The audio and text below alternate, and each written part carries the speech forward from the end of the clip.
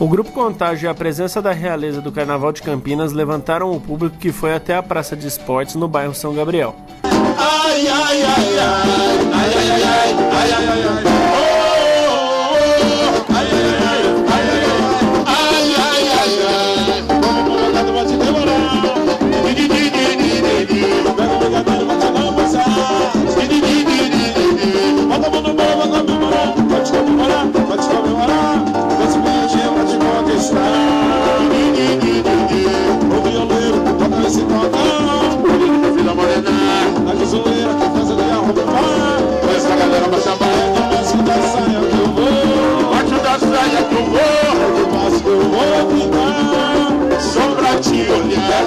A noite foi marcada pela falta das escolas de samba Unidos do Grajaúna e Unidos do Paranapanema.